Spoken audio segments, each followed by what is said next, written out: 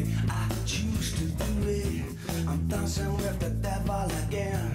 I guess that you could say he's just another friend. Now